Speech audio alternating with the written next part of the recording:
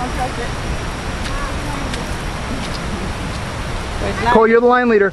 If you find a stick to use as a cane, go for it. That's what he was looking for. Peanut butter